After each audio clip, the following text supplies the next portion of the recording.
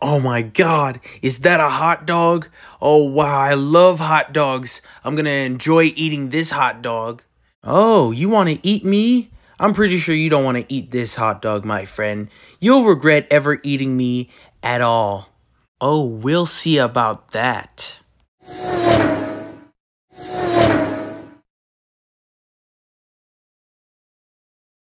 Mmm, that hot dog tastes very good.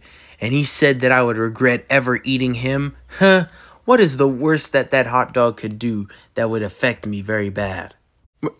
Oh, oh, oh no, oh no, oh I don't feel so good. Uh... well, Dot Eater, I guess you can say that you really regretted eating me.